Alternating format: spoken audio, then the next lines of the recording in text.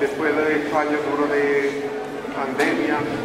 Vamos cada uno de los presentes pues, a pedirle a nuestro santo patrón aquella gracia que deseamos alcanzar por su intercesión ante el Señor, pidiendo sobre todo por el pueblo de Algarrobo, para que se convierta de corazón al Señor, por nuestros enfermos, por nuestros familiares, por nuestros difuntos que ya no están entre nosotros.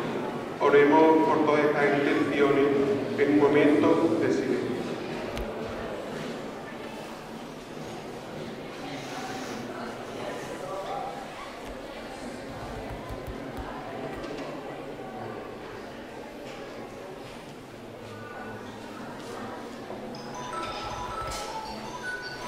Padre nuestro que estás en el cielo, santificado sea tu nombre, venga a nosotros tu reino, hágase tu voluntad en la tierra como en el cielo.